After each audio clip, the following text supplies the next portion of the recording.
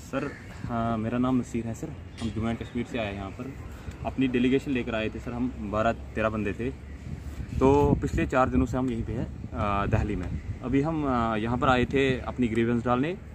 हमारा जो काम है, हमने ऑलमोस्ट कर दिया है। अब हमारी जो जो हमारे मसले हैं, वो हम कश्मीर से लेकर, जम्मू कश्मीर से लेकर यहाँ तक लेकर आए अब इनका काम है हमारे साथ इंसाफ करना और ये भी मैं बोल दूँ कि हमें एश्योरेंस मिल रही है।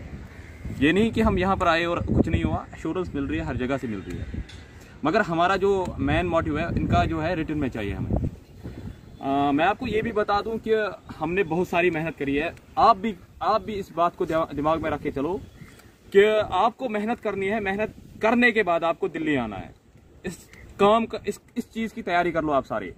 क्योंकि पढ़ के आपका लिस्ट सीधे नहीं आने वाला। आपको लड़ना है उसके लिए भी हर चीज़ के लिए। ये मेरे भाई यहाँ पे खड़े हैं।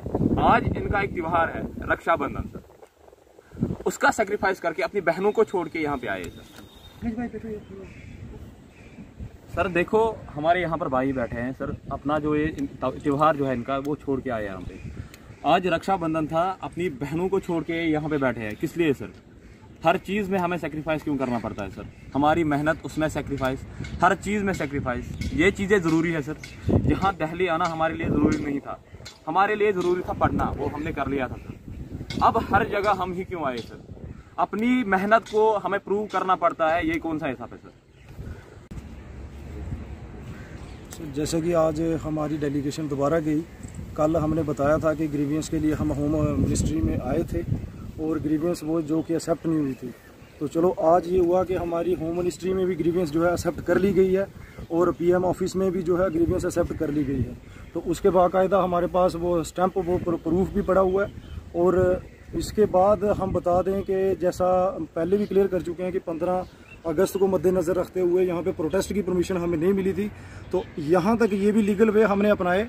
अगर इसके बाद भी हमें ज़रूरत पड़ी, जैसे हम बार बार मैसेज दे चुके हैं कि इसके बाद हमें जो ज़रूरत पड़ी, जंतर मंत्र का जैसे हम बार बार बता चुके हैं, अगर हमें ज़रूरत पड़ी सोलह से सतारह के बाद आने की तो जंतर मंत्र पर पुरजोर प्रोटेस्ट किया जाएगा।